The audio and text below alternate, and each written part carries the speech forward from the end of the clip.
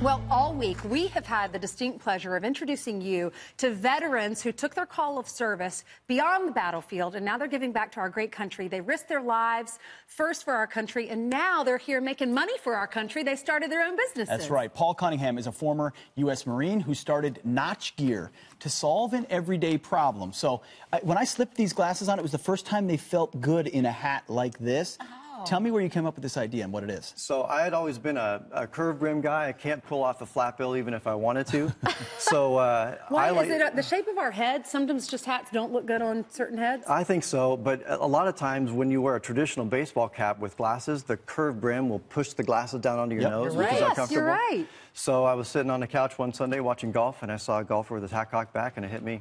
Why not right, knock because people hat? go like Yeah. this, they go like this because Absolutely. of the sunglasses. Yeah, I would Yeah. wear my hat backwards or just not wear my sunglasses. So our, our patented notches eliminate the interference between your baseball cap and sunglasses. so when they're worn that's together. okay. So when you say the Thank you. notch, it's all in here. So it's the notch here on the oh, side. Oh, side. the notch on the side. Oh, Yes. those notches. Exactly. It's the That- the that's- ones that are fitting the- right the there with your glasses notch. right now. Yeah. So your glasses fit into that notch. slip now I get it. Absolutely. Now I get it. And How's so- it been going so far? Really great. We're having a lot of fun. We also partner with an organization called Children's Hunger Fund. So Mm-hmm. every hat we sell provides five meals for kids in need. Oh. And to date, we've provided about 270,000 meals.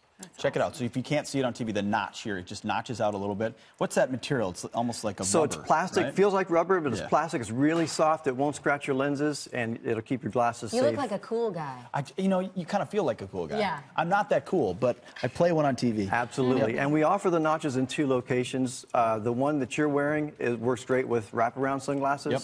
The one uh, right here is uh, designed for my wife. We call that the Terra notch. So we move the notches further away from the body of the hat. Oh, and they work that? great with uh, aviators, prescription eyewear.